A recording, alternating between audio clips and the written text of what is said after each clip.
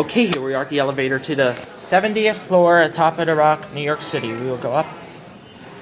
These are Westinghouse Schindler. There's a view. This one.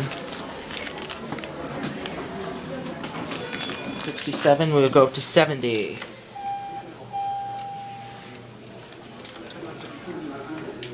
Looks the same as the main ones.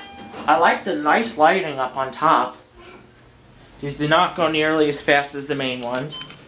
And unfortunately, you only get to take the main ones up and down, which sucks.